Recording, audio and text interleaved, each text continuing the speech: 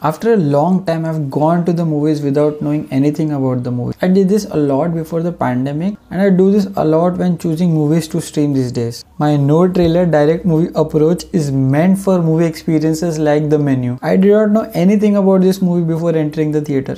Only a quick look at the genre suggested it was a dark or a haunted comedy. I did not even know what that means. So I didn't pay much attention to it. The movie was set around a fine dine setting. Having watched HBO's The Bear recently, I was fascinated by the amount of excitement that a kitchen setting can induce. The menu is a story about an exotic island restaurant that only the privileged can experience.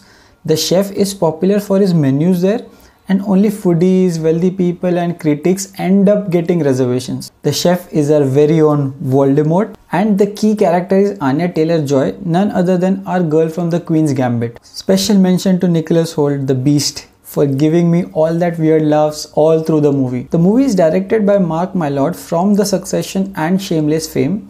I've not watched both of them, but I have heard high praises for The Succession, which is definitely on my list after having watched the menu. First, I will talk about the setting. The detailing of the food, recipes, and presentation is noteworthy. It definitely justifies the authentic and exclusive fine dine experience you might get on an island restaurant by a celebrity chef. You can tell that a lot of research went into and experts were consulted to get the meal courses and ingredient specifics to detail. It is an expert level food cinematography combined with social commentary and humor. Now, I want to talk about the genre that is unknown to me for such an original piece.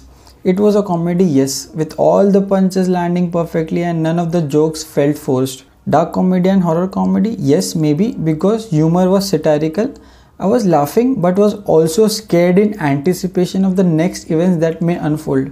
I would say it was a proper thriller at its core. The movie had its own natural flavor. It almost felt like a game show, but not so much.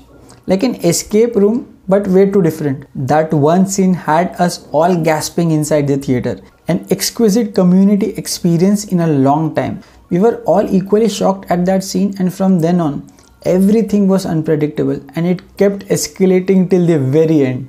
Yes, it had some dull moments here and there, but overall the screenplay worked really well for me and most of the people around me. We were enjoying the movie enough to ignore the small falls here and there, which were insignificant. The haunting soundtrack also adds to the overall menace in the screenplay. This movie is a ride. You will never expect a kitchen or restaurant drama to turn out like this a strange panic of anticipation and rooting for some miracles. Social commentary is deeply rooted in philosophy. The service industry, the givers and the takers, need for perfection, and existentialism is all neatly woven into the dialogues and chef's explanation of the meals. Some are unspoken symbols that will leave you to have your own interpretations. The tension in the last scene was filmmaking at its peak. It was so compelling that the guys in my row, including me, clapped before leaving the seats.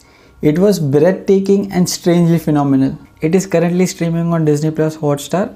Go check it out.